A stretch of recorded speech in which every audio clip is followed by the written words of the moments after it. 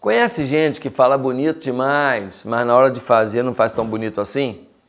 Conhece gente que aparenta uma coisa, mas vive outra? Sabia de uma coisa? Às vezes você pode ser alguém assim, mas é que você só julga os outros e não olha para você. Se você quer pensar sobre isso, fica até o final desse vídeo.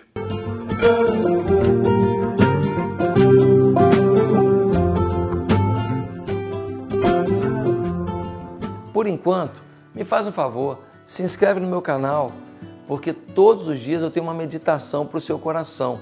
É o Bom Dia com Oração. Eu quero participar do seu crescimento espiritual. Conte comigo para isso. Se você tocar no sininho aqui e escrever ali ó, todas, você vai ter a opção de receber todas as notificações de cada uma das minhas postagens. E aí diariamente você vai acordar, olhar seu celular, já vai ter uma postagem lá. Assim, todo dia você vai ser abençoado e Deus vai falar coisas novas com você. Muita gente continua fazendo coisa velha porque não recebe o novo de Deus. Está na hora de mudar, não está? Está na hora de mudar. Mude a sua vida para melhor. Hoje, quero refletir com você no texto de Mateus, capítulo 12, versículo 33, que diz assim: Considerem uma árvore boa dá fruto bom. E uma árvore ruim dá fruto ruim, pois uma árvore é conhecida por seu fruto. Uma árvore é conhecida por seu fruto. Eu morei muito tempo num prédio na Ilha do Governador e nos fundos daquele prédio tinha um pé de mamão. E aquele mamão, aquele pé de mamão estava lá há alguns anos e nunca dava mamão. Todo ano a gente ficava na expectativa de nascer uns mamãozinhos lá e nada, nada. Eu me lembro que uma pessoa falou para mim, deve ser falta de ferro. Pega uns, uns pregos aí e coloque nessa árvore, talvez ela venha a produzir. E eu peguei uns pregos enferrujados, enfiei na árvore no tronco dela. E não é que no ano seguinte deu mamão? Não vou dizer para você que deu mamão. Olha, nunca se viu tanto mamão no, numa árvore. Não, mas deu mamão. Ela tinha escassez de algumas coisas, de alguns nutrientes, que eu não sei se foi o meu prego colocado lá que resolveu, mas também botei o prego e ela produziu mamão. E então a gente pôde arrancar o mamãozinho e a gente teve o prazer de comer um pequeno mamão, mas que foi feito dentro do quintal do nosso prédio. Por que, que eu estou te contando essa história? Porque o tronco daquele pé de mamão era um tronco normal, bonito, forte. Ah, as folhas, as folhagens também eram bonitas, eram legais, uma aparência muito boa. Só tinha um detalhe: era mamoeiro sem dar mamão. É como se fosse um abacateiro que não dá abacate.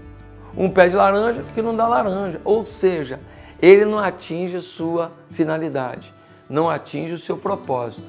O propósito de um pé de maçã é dar maçã. O propósito de um, um pé de manga é dar manga. Se não dá o fruto, ele não cumpriu o seu propósito. É isso que Jesus está falando aqui. Ele está falando nesse texto de Mateus 12, 33, que uma árvore é boa ou uma árvore é ruim, não pela aparência dela, não porque a folhagem é bonita, não porque o tronco é bonito, não, não. Essa árvore é boa se ela dá fruto bom. Se ela não dá fruto bom, ela é uma árvore ruim.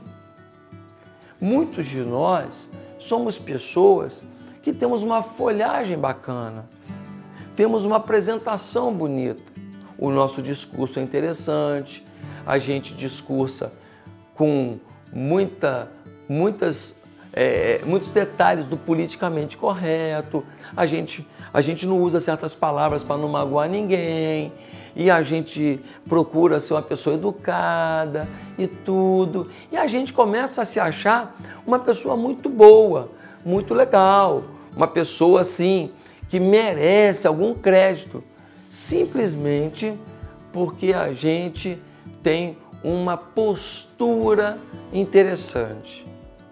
Mas a pergunta é: para que que você nasceu? Quais são os frutos que você deveria gerar? Você tem um plano de Deus sobre você. E esse plano de Deus envolve expectativas de Deus. O que Deus espera de você?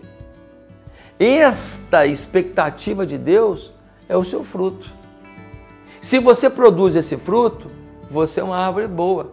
Se você não produz esse fruto, me desculpe, mas você é uma péssima árvore. Mas como é que você vai saber qual é o fruto que você deve produzir? Ora, o que você faz hoje que faz com que as pessoas amem mais a Deus?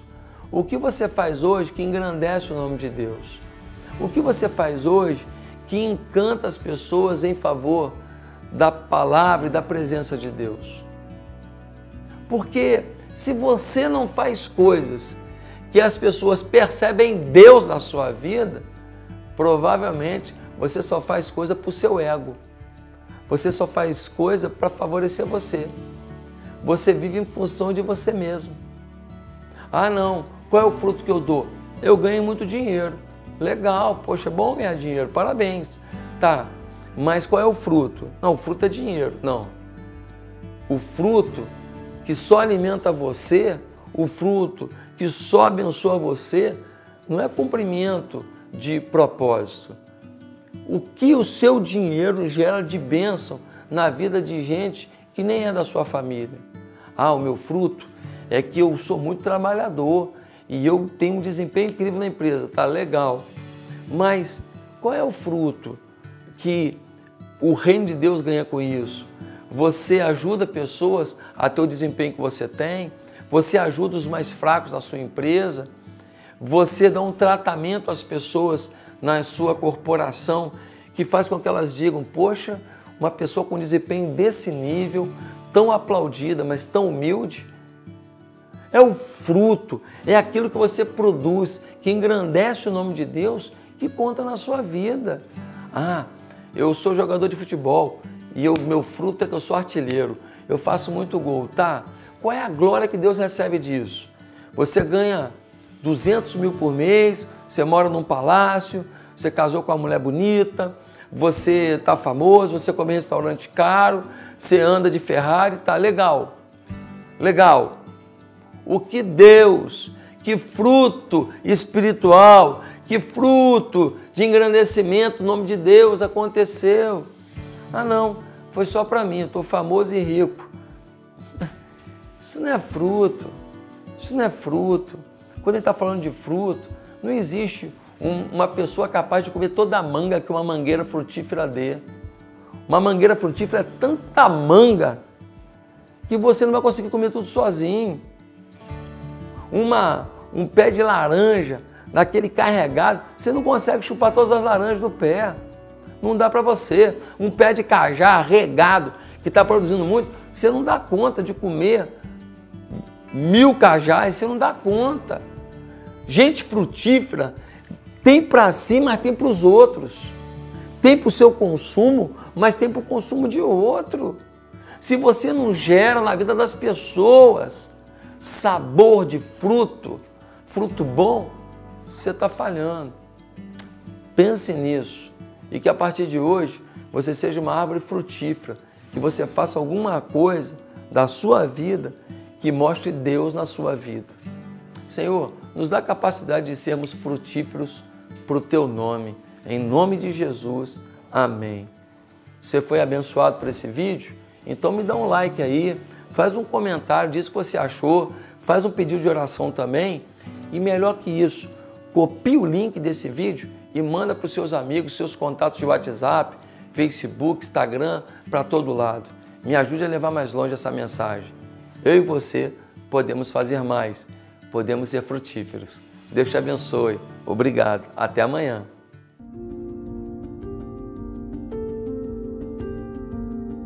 Você tem enfrentado gigantes como medo, culpa, desânimo, ressentimento? Essas coisas têm roubado sua felicidade, prejudicado a sua caminhada de uma vida plena?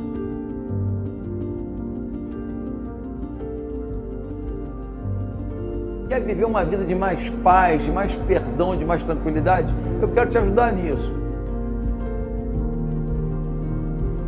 Alguma dessas áreas afeta a sua caminhada e talvez você nem saiba, afeta mais do que você imagina.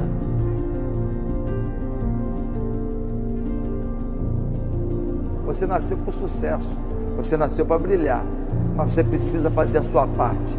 Esse é o tempo. Você está no caminho da vitória. Chega de viver isso. É o tempo do recomeço.